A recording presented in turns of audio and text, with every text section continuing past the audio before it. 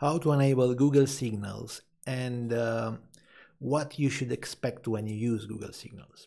I will show you how to turn this on, but I will also tell you about a problem that might appear once you have Google Signals enabled on your website, especially for pages with little traffic or for websites with little traffic.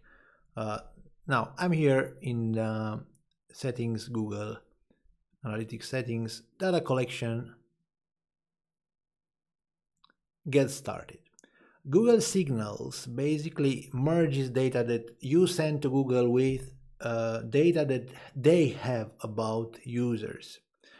If the user is logged in in a Google account and if the users if the user gave permission for this data to be used by Google. So not all your users will uh, be tracked with uh, Google Signals. Now, get started,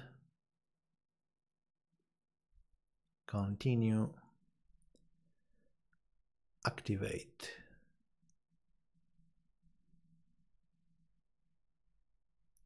And it's on.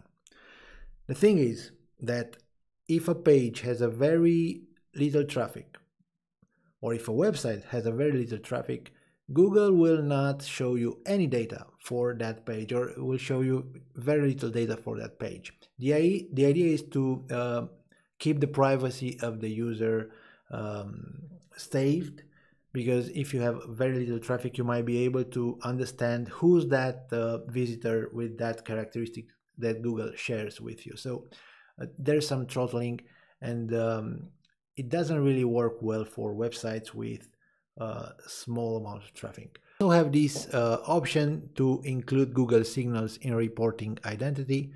Uh, I think if you turn this off, reports might turn back to the way they were before. Not sure. I didn't test it to be honest. But uh, if you have this problem with uh, no data or very very little data uh, visible after turning on signals, maybe you can try to disable this one